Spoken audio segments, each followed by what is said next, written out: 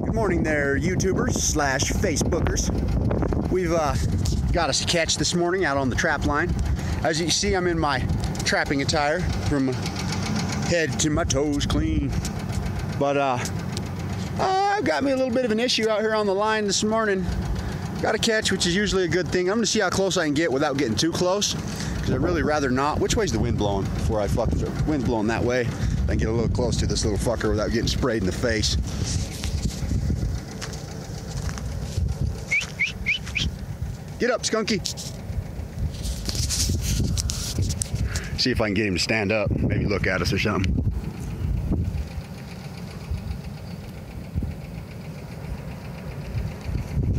See him lifting up his tail. I'm getting the hell out of here.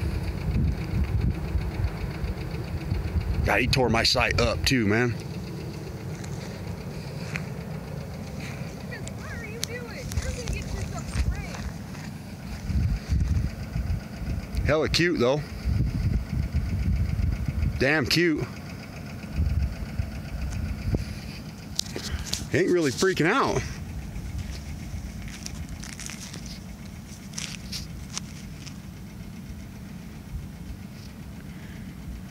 He's just looking around, really. Kinda.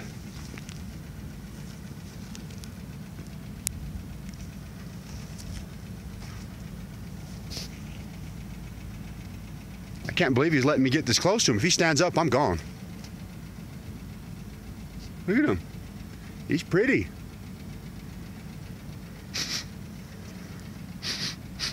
Doesn't really smell like he's been spraying. Oh, yep, there it is.